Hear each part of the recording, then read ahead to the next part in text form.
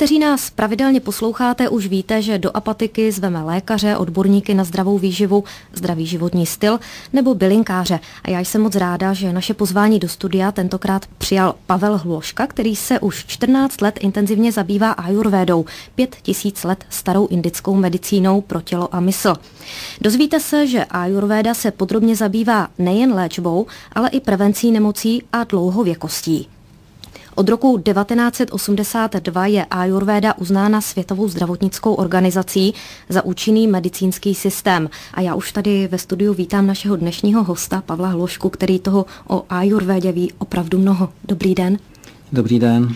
Pojďte nám tady hned v úvodu tedy objasnit, co je to ta Ayurveda, co všechno vlastně zahrnuje. Ayurveda je indická medicína a to slovo má dvě části. Ayus, první část, znamená život a véda znamená nauka nebo poznatky. Takže dohromady to slovo Ayurveda znamená nauka o zákonitostech života. A protože slovo zákonitosti je neutrální, tak převedeme trošku k emocím. Nauka o dlouhém, zdravém a šťastném životě. Co to je zdravý a šťastný život, to si už lidi dovedou představit. To si určitě umím představit i já. Eh, vy se zabýváte ajurvedou už 14. rokem profesionálně, jste terapeut, jste autorem několika knih, vyučujete ajurvédskou medicínu dokonce na některých českých univerzitách a provozujete poradenskou činnost na mnoha místech v České, ale i Slovenské republice. Pojďte nám říct, jak jste se k té ajurvédě vlastně dostal? Na počátku bylo rádio. No, možná před rádiem byla ještě moje, eh, moje problémy zdravotní, ale poslouchal jsem jeden pořad v rádiu, ve kterém četli na pokračování z některých světových knih a mezi nimi byla i Ayurveda. A při prvním poslechu jsem zahořel láskou a rozjel jsem se do světa hledat tuhle knížku. Pak jsem ji našel, začal jsem studovat a pomocí Ayurvedy léčit své dřívější nemoci. Měl jsem několik i nevyléčitelných a to se mi povedlo. A pak jsem u Ayurvedy zůstal. Mm-hmm. My už jsme v úvodu řekli, že Ayurveda se podrobně zabývá nejen léčbou, ale i prevencí nemocí a dlouhověkostí. Můžete to tedy vysvětlit, objasnit? Ayurveda dává návody, jak žít dobře, zdravě, šťastně, ale také, když někdo onemocní, tak dává recepty, jak si ty potíže vyléčit, protože nikdo nejsme lidsky dokonalí, děláme chyby, tak má spoustu receptů, dokonce jsem čet v jedné encyklopedii, že asi 8 tisíc receptů. Eh, já přeci jenom Ayurvedu považuji za nauku o zákonitostech života. Pokud někdo zná tyto zákonitosti, pak se dá k terapii nebo k dobrému zdraví využít kdo cokoliv. Mm-hmm. My bychom měli asi tady vysvětlit, jak podle Ayurvedy vzniká nemoc. Může si za ní člověk sám nebo? Eh, každý vlastně člověk má s tou nemocí? Hmm, každý člověk má v sobě tři signály a podobně jako u televizního signálu, eh, televizní signál má tři složky, modrou, červenou a zelenou. A na obrazovce se vlastně z těchto třech složek vytvoří jakýkoliv barevný odstín. Tak podobně funguje i člověk. Každý člověk má v sobě tři signály, jen se lišíme tím, že máme ty signály různě veliké podle toho, kolik kterého mám, tak jsem takový typ nebo mám takové vlastnosti a mě pak odpovídají i potřeby. Takže nemoc vzniká poruchou rovnováhy těchto třech signálů, já jim říkám regulátory, protože oni mohou regulovat, nebo takhle, oni regulují vaše zdraví a my můžeme regulovat je. Pak máme zdraví, jak chceme. Připomeňme tedy, že Ayurveda je holistickou metodou, to znamená, že se zabývá celým člověkem. Podle ní spolu tělo, mysl i duch souvisejí, jsou neoddělitelné. Ayurveda se nezaměřuje na potlačování příznaků nemoci, ale hledá a léčí příčinu jejího vzniku. Tak pojďte nám to vysvětlit teď, to, co jsem tady přečetla. Jak to vlastně je? Každý z nás má tři signály. Některý je vyšší, ten signál, některý je menší. Stačí se soustředit pro praktické účely na ten největší signál. Tyto signály se nazývají vítr, žluč a slíz. Já používám české názvosloví, v Indii se používá sanskrt, ale českému názvosloví náš posluchač bude líp rozumět. Tak vítr je, se nazývá proto tak, že má podobné vlastnosti jako vítr venku. Aby mohl foukat, tak potřebuje prostor, takže ovládá prostorové duté orgány, jako je dutina lebeční, dýchací, dutina bříšní. Pak je pohyblivý, ochlazující, vysušující a ten člověk je taky takový rychlý, aktivní, chladné ruce, chladné nohy nebo studené. Když se tato vlastnost nebo některá z těch vlastností zvýší její více, pak vzniká nemoc. Čili když je ten člověk ještě rychlejší, roztěkanější, nesoustředěnější, pak vzniká porucha. Když se vystavuje chladu, vzniká porucha. Eh, podobně i co se týče třeba výživy.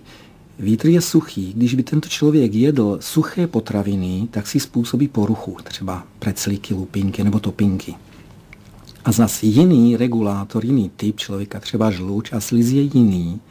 A ten si zase potřebuje hlídat ty své vlastnosti, aby nedodával do sebe více těch vlastností, které má. Čili vlastnosti to je to, co máme a potřeby to je to, co nemáme. Opačné. Ayurveda léčí opačným. Takže stačí, když své vlastnosti, které stejně známe, správně pojmenujeme a víme, co potřebujeme, protože potřebujeme opak. Hlavním principem ajurvédy je život v souladu s osobní konstitucí člověka a s přírodními zákony. Eh, za okny už vidíme jaro. Eh, souvisí ajurvéda tedy i s jednotlivými ročními obdobími? A jestli ano, tak by mě zajímalo zrovna to jaro. Co teď byste poradil v tuto tak. dobu? Ano, souvisí. My plujeme s vlnami přírody právě pomocí těchto regulátorů. Jaro je období slizu, to je regulátor, který je těžký, pomalý, stálý, tekutý, lepkavý, studený, tupý, sladký. A jaro a člověk tohoto typu má tyto vlastnosti. A chceme-li přežít jaro dobře, potřebujeme opak. Pak, jestliže je slíz tekutý, poznáme to například eh, na, v jiném období jara než letos, tajou ledy a sněhy, tajou nudle. Letos zrovna ty sněhy netajou možná tak na horách. Mm. Takže tekutý sliz nesnáší to tež. Nepíme moc tekutin, nejezme omáčky, kaše, šťávy a nápoje. To je sice v rozporu s naším pitným režimem, který známe, ale pitný režim neplatí pro každého, my nejsme stejní.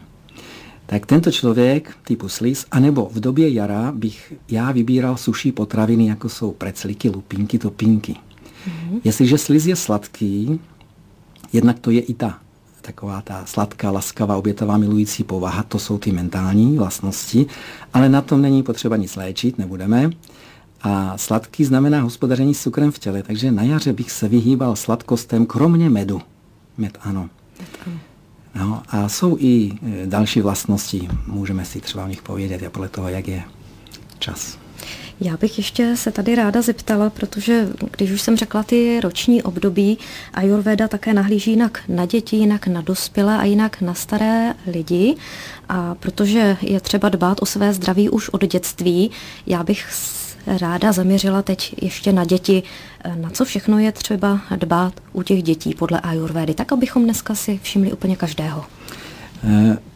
Tyto regulátory vítr, žluč a slíz se trošku vychylují ze svých obvyklých velikostí i během celoživotního cyklu.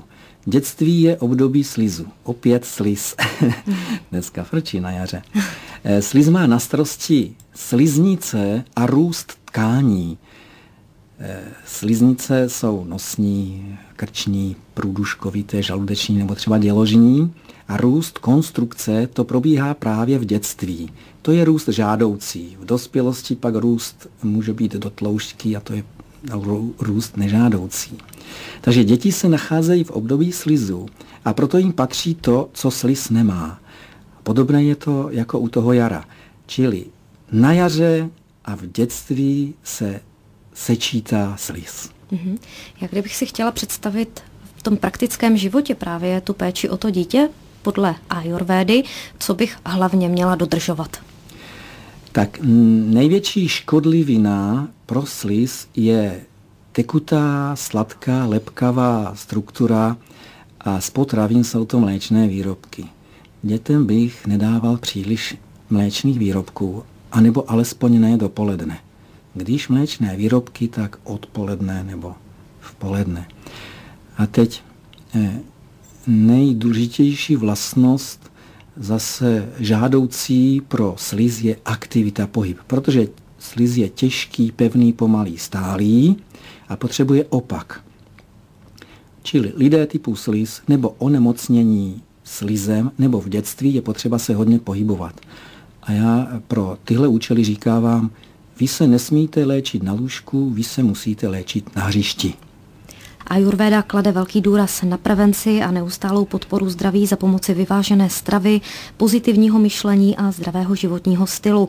Podle konstituce, rasy a klimatických podmínek doporučuje Ayurveda odlišné jídlo, cvičení a celkovou životosprávu. Tak to všechno už jsme slyšeli. Pane Hloško, jak by měl eh, vlastně vypadat takový ideální denní režim, jídelníček? Co všechno zahrnuje ten ajurvédský denní rytmus? Ayurveda respektuje proměnlivost regulátorů během dne, podobně jak jsme je naznačili během roku, jaro, léto, podzim, zima. Tak ráno, dopoledne je období slizu, je potřeba respektovat požadavky slizu. Kolem poledne je období žluče, je potřeba respektovat požadavky žluče a na večer je období větru. Tak začneme ránem nebo dopolednem. Sliz je těžký, pevný, pomalý, stálý, tupý, tekutý, sladký a proto potřebuje opak. Protože má slabé trávení, snídaně by měla být minimální, nejmenší jídlo dne a někteří lidé mohou snídaní i vynechat. Obráceně, čím vydatnější snídaně, tím otupělejší jsem během dne a některým lidem, zejména typu slis, je těžko tak je to opět v rozporu s těmi našimi, mm, co známe u nás, těmi doporučeními, že snídaně má být nejhlavnější jídlo dne, tak podle Ayurvedy ne. Nejmenší jídlo dne, anebo žádné. Kolem poledne je období žluče. se zeptala jenom k té snídani, co je, jaká by měla být ta snídaně, Příklad. co by měl člověk jíst? Tak nejvhodnější je třeba pečivo, chleba, houska, veka, topinky, preclík. Je to suchá struktura. Teď když chce někdo namazat, může něčím lehkým, jako je med, džem, povidla, nebo nějaká zeleninová pomazánka, toustová a pikantní. Sliz je tupý, jednak někteří lidé jsou v téhle ranní době příliš otupělí, pomalí, líní, jako jedna paní říkala, když byste viděl mého syna tu lemru línou, jak sedí u snídaně. A přitom to je mistr republiky ve sportu. Mm-hmm. Čili Mm, sliz pomalý stálý potřebuje opak, to je pohyb aktivita, jak jsme si u těch dětí zmínili a slizovní mají rádi pohyb a mají pohyb elegantní, krásný, jsou to taneční mistři. Takže eh, uvedme, uved jsem příklady e, snídaně, mohou to být i třeba zelenina nebo některé ovoce, ale právě, že se nedá říct obecně všechna zelenina, všechno ovoce, tak e, můžu říct Většina zeleniny, kromě rajčat a okurek, se hodí pro slis ráno a z ovoce pouze jablka, hrušky, meruňky a sušené ovoce. Nehodí se šťavnaté ovoce, jako jsou melouny nebo třešně, švesky, hrozny. Mm-hmm. Tak pojďme k tomu poledni. Poledne. Období žluče. Žluč má velmi silné trávení, to je regulátor bioenergie, která ovládá metabolismus, metabolické orgány, krev, kůži, hormonální soustavu, intelekt a zrak. A proto oběd má být hlavním jídlem dne. Silné trávení, vydatný oběd. Žluč není choulostivá na to, jestli to je tekutá nebo suchá struktura. Může to být rozmanitá, mohou to být brambory, rýže, maso, vajíčka. Některá asi polovina zeleniny, nevhodná je třeba červená řepa, řetkvičky, špenát, to slis nesnáší a nechutná jí to. Ale mm, já jsem spíš zabrousil k lidem typu žluč. Pokud někdo nezná svůj typ, tak je pro něho velmi důležité se řídit právě tímto časem.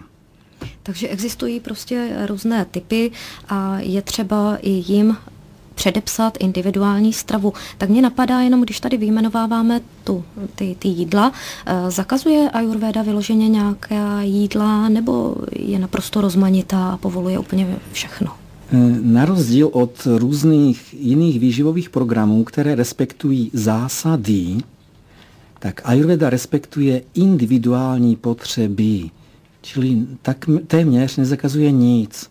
Ona pouze varuje někdy, když ten člověk má zdravotní potíže, aby se z nich co nejdříve dostal. Ale pokud ten člověk je ve formě, ve zdraví, pak neplatí zákazy, platí jeho individuální potřeby, i když u některých typů lidí to vypadá tak, že to, co já tomu mému klientovi doporučím, je asi tak.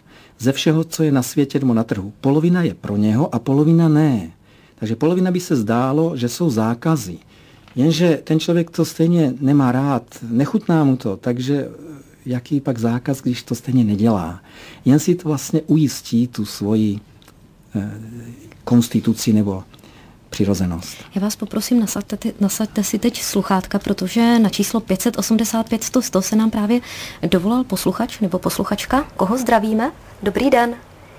No, dobrý den. Dobrý Tady den. Patriková Kristina ze Šumperka. Dobrý den. Já bych se chtěla zeptat, eh, kdybyste byl tak laskav, eh, kde je možné si nastudovat tady ty věci, nebo jak, jak jste studoval, nebo jak, jak jste se vyvíjel, jak jste se dostudovával kdybyste k tomu něco mohl, nebo kde je možné literaturu sehnat a podobně. Děkuji, nashledanou. Dobře, děkujeme za dotaz. Můžete odpovědět, já vím, že jste autorem několika knížek, takže určitě i tam si můžou naši posluchači, kteří by se zabývali nebo chtěli zabývat ajurvédou, nastudovat. A řekli jsme taky, že vyučujete ajurvédu na některých českých univerzitách, třeba tady v Olomouci. Je možnost vás najít? Ano, eh, napsal jsem knížku Ayurveda česky, ta ale už asi pravděpodobně není na trhu, že je vyprodaná. Pak další je Ayurveda duše a těla, ta na trhu je, můžete studovat. A další knížka je v nakladatelství, v přípravě, ta ještě na trhu není. Eh, dá se studovat i na různých kurzech nebo na akademiích, jako je Akademie Alternativa, která má sídlo tady v Olomouci. A já dělám eh, různé kurzy po České republice nebo i po Slovenské republice. Já myslím, že když budete chtít určitě pana Hlošku, ale i jiné terapeuty, kteří se ajurvédou zabývají, eh, najít. Eh, my jsme se teď zabývali tím odpolednem, tím obědem. Tady určitě po obědě je důležitá taky nějaká meditace. Já myslím, že eh, když je takový ten těžký oběd, co tam teda ještě patří k tomu odpolednímu režimu, zkuste jenom krátce a pak půjdeme rychle na večeři. Ayurveda doporučuje po jídle asi tak 5-15 minutovou procházku a může to být i meditace v odpoledním čase, takové rozjímání, sklidnění, protože nastupuje vítr, který je velmi rychlý, aktivní a někdy roztěkaný, tak abychom ho zvládli. A vítr pak večer má takové vlastnosti, jako je proměnlivost, takže opakem proměnlivosti je stálost, ba až rituálky. Stálost, pravidelnost, ba až rituálky. A meditace může být i takovým rituálem. Mm-hmm. Takže ten večer by měl vypadat jak, řekněme ještě? Večer je období větru úplně přesně mezi 14. a 18. hodinou. Zvyšuje svoji aktivitu vítr, ten je velmi rychlý, aktivní, činorodý, studený, proměnlivý. A takové vlastnosti odpovídají i člověku, který má větru hodně.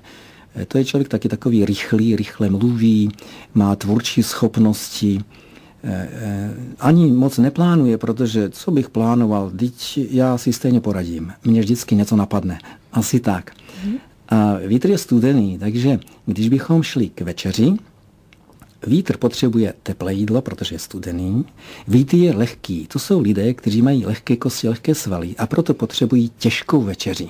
Vajíčka, máslo, smetanu, hmm. nebo i tuňák s olejem, což možná, že naším uším zní nehezky, ale je to tak. Ale důležité je vědět, že vítr končí v 18 hodin a proto i večeři by měla být do 18 hodiny, ne později. Mm-hmm. To byly pravidla pro denní rytmus ajurvédy, v noci obvykle spíme, přesto existují i pravidla jednání pro noc? Eh, existují. V noci máme spát, nemáme pracovat. Důležitá hodina je 22. Eh, vrátím se trošku zpět. Vítr končí v 18, pak začíná sliz. Eh, do 22. hodiny. Sliz je pomalý, stálý, tupý, přináší nám otupilost a připravuje nás ke spánku. Po 22. hodině přichází opět žluč, která šéfovala kolem poledne. A žluč to je energie. Pokud jdeme spát před 22. hodinou, tak v pohodě usneme a vyspíme se, máme energie, energii a zregenerované tkáně.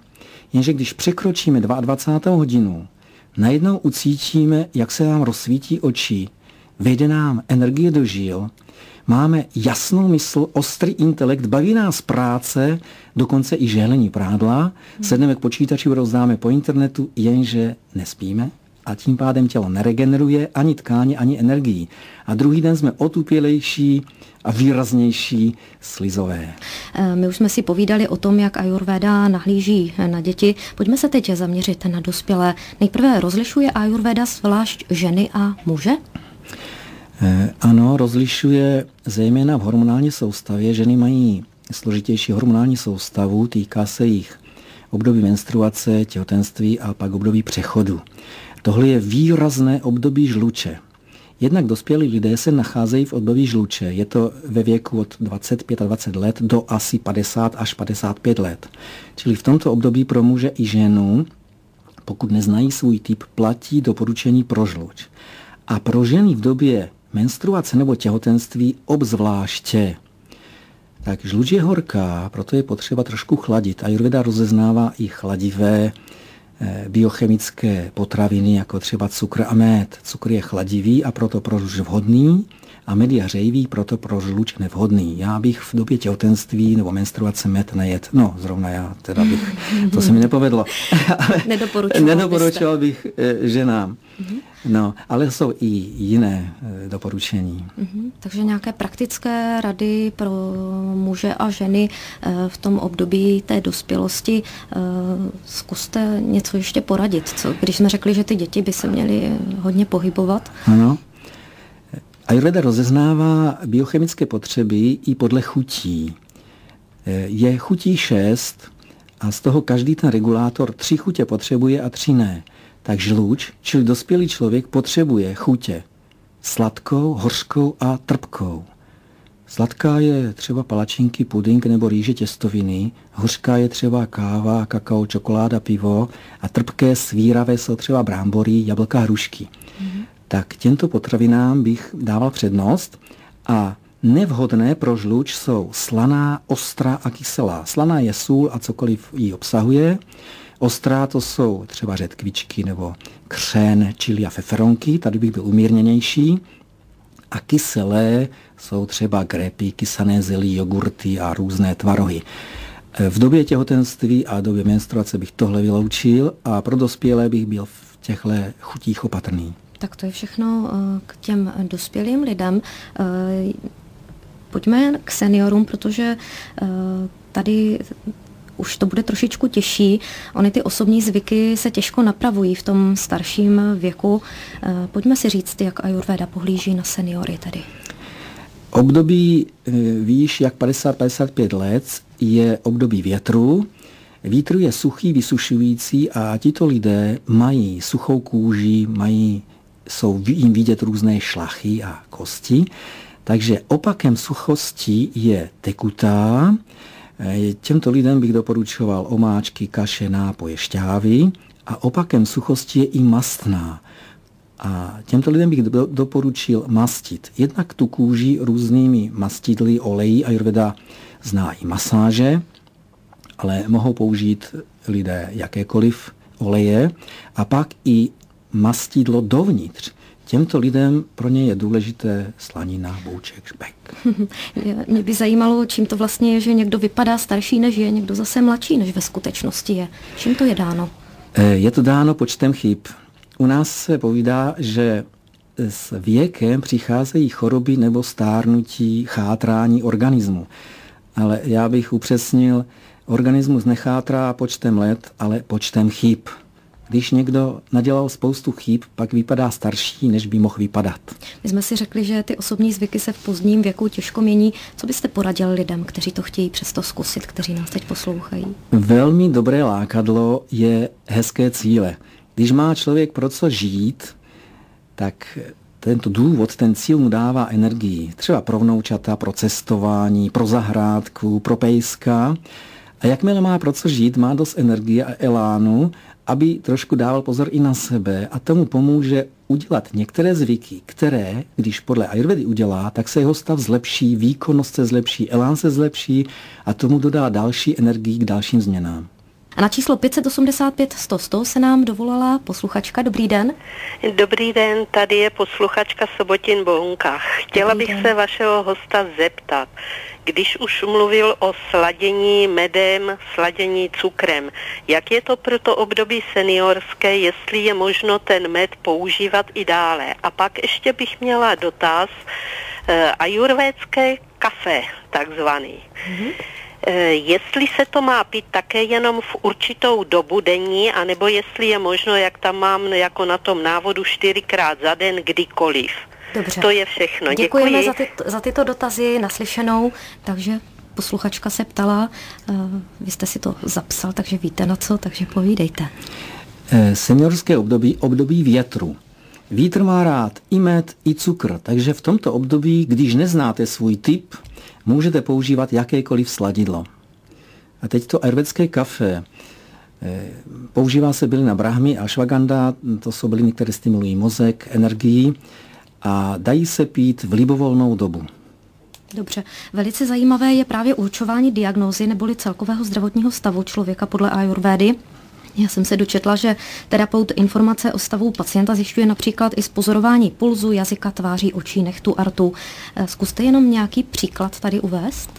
Vítr má kůži suchou, tenkou, sliz má kůži tlustou, bílou, masnou, studenou.